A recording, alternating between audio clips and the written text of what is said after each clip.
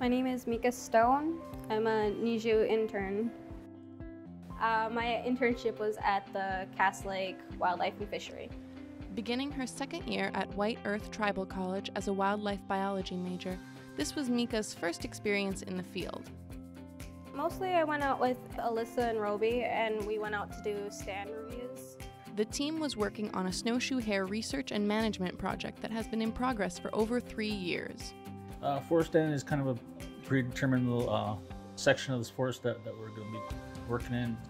Uh, just a collection of habitats, or one habitat by itself sometimes. We'd mostly go around in the woods and record like certain areas within a stand. So we'll look at the coverage of the trees. We'll see signs of, well, in the beginning it was signs of rabbit life. So we'd be looking for pellets, runs, and seeing if that would be a, a good area for them to live. Although they were studying and tracking the hare, the team always had time to stop and smell the wildflowers. Sometimes on our way we would stop and look at plants and bugs and identify them and then we'd pick some and come back to the office and press them and so she could start a journal and book. She was really enthusiastic, motivated, she wanted to learn. Um, she seemed to really enjoy like her time outside. I mean, every day was exciting with Mika. and she was always super enthusiastic. The team didn't just chase bunnies all summer.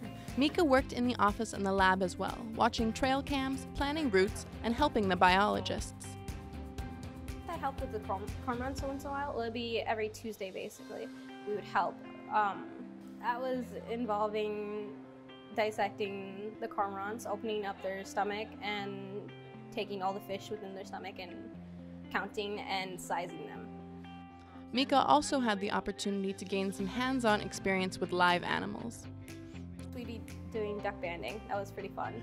You, you chase them down and then you capture them. and training to handle injured animals. I had a nice connecting moment when we went um, and picked up an injured owl together.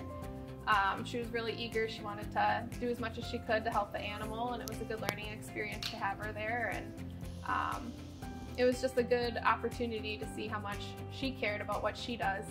The Ni Zhu Guai Kochigewin program at BSU is for anyone who wants to appreciate and use Western science and Indigenous knowledge to bring long term sustainable changes in the world. I went into this with zero knowledge of plant life, animal life, anything.